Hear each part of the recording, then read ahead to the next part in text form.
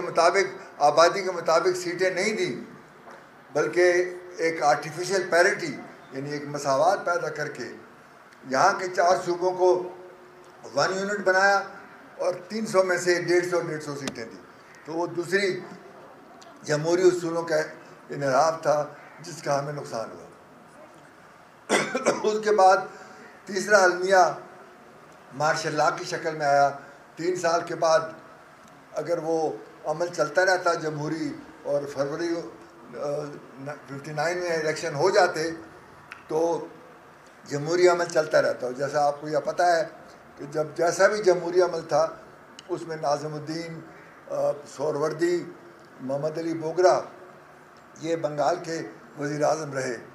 तो उसके ना होने से हमें जो मुसीबत पड़ी, वो यही था कि मार्शल में तमाम इकतदार अयूब खान के हाथ में था।